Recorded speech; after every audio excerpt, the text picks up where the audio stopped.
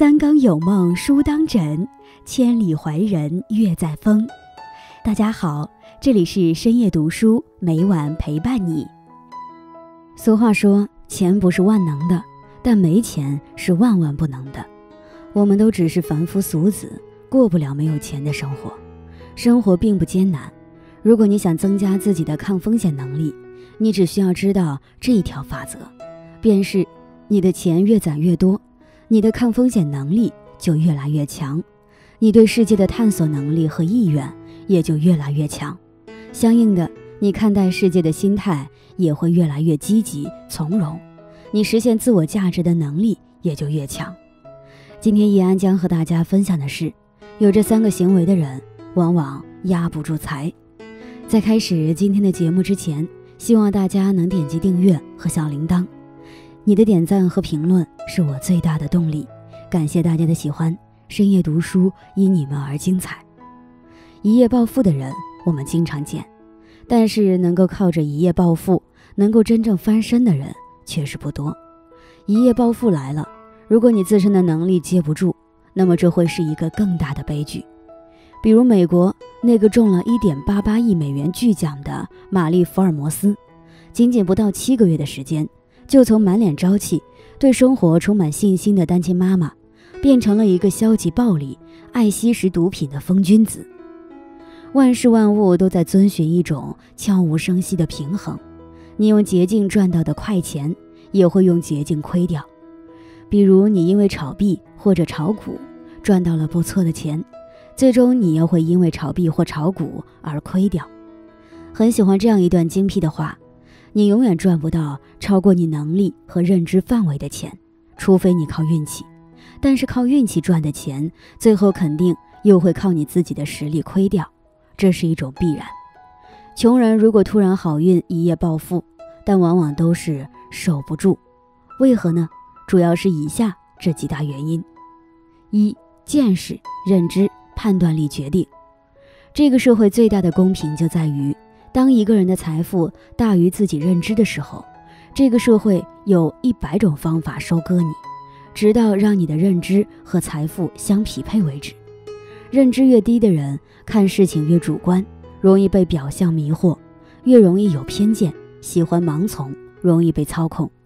认知水平的不足，他们的每一步决策都是错误的，乃至是致命的，比如会掉入各种投资的陷阱里等等。投资亏钱是认知的缺陷。投资的第一步不是投，而是学习，而是提高自己的认知。只是很多人因为某些机遇大赚了一笔钱后，并没有及时的提高自己的认知，导致一步又一步的掉入各种各样的陷阱中，最终又亏到一无所有。财富永远都是流向最匹配他的人。我们的一生都在为自己的认知买单。给你五百万，你可能依然是穷人。这句话是不是很扎心？大多数意外之财都会变成意外之灾。当你的认知配不上你的财富，天上掉下来的馅饼都会成为人生的陷阱。有太多万贯家财最终败光的例子，富不过三代，别说三代，富一代都是泥菩萨过江，自身难保。前人创造财富。也许是靠运气赶上了时代的潮流，那么子孙后代不认真思考，不去提升自己认知的能力，跟不上社会风向变化，败光家产也是自然的。你永远无法阻止别人打你钱的主意。你能拥有多少财富，取决于你需要向提升认知交多少的学费。在股市还好的时候，同事 A 因为炒股赚了不少钱。这个消息被同事 B 知道了，你是怎么赚的？B 问 A，A 就把他是怎么赚的，一五一十的讲给 B 听。听完之后，从来没有涉足过股市的 B 动心的说：“我现在投十万，什么时候能翻一倍？”他问 A 说：“这个问题我回答不了。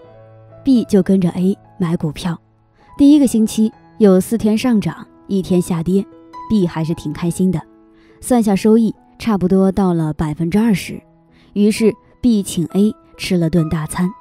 第二个星期形势有点不对了，只有两天是上涨的，三天下跌，，B 的收益不到百分之二十了。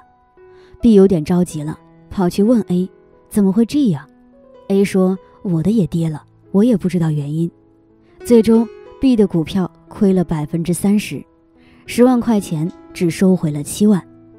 一说起这件事，B 就开始抱怨：“我还以为 A 是股神，没想到也不靠谱，害我亏了这么多，以后真不能听他的了。”在上述这个故事中，在 B 身上。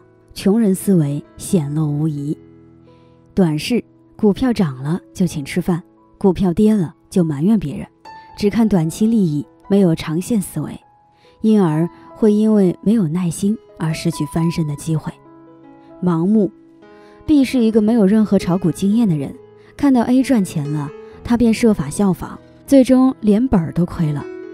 在决定入市之前，B 没有去系统了解证券的知识。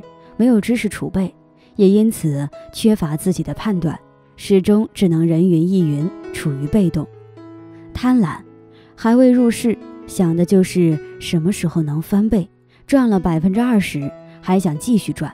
没有根据内外形势做出合理的判断，没有及时收手的后果，必然是陷得更深，无法在诱惑面前全身而退。一夜暴富的人。最容易陷入各种诱惑，暴富是对人性的考验。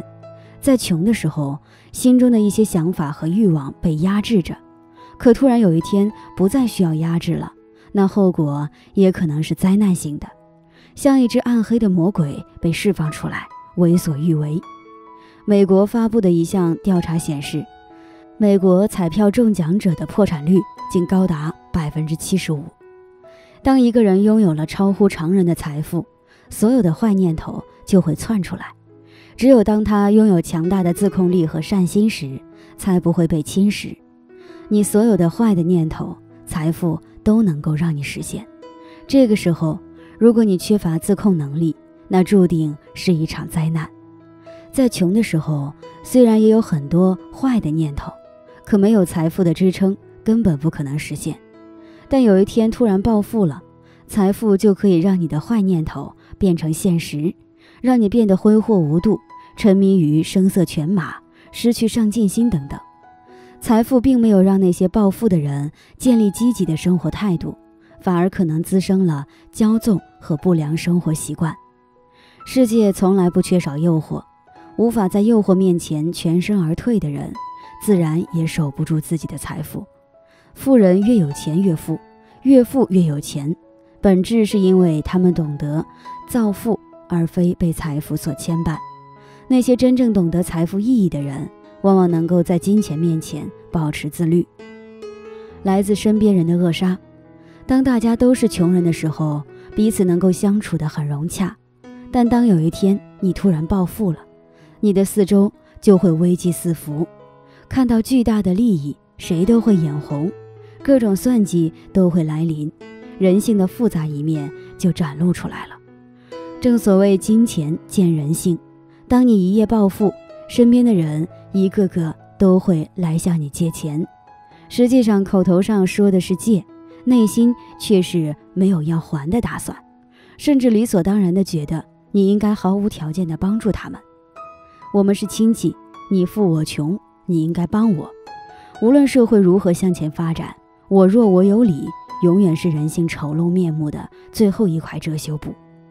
你本来想给点钱，是真心的想帮助他们，这本是好事。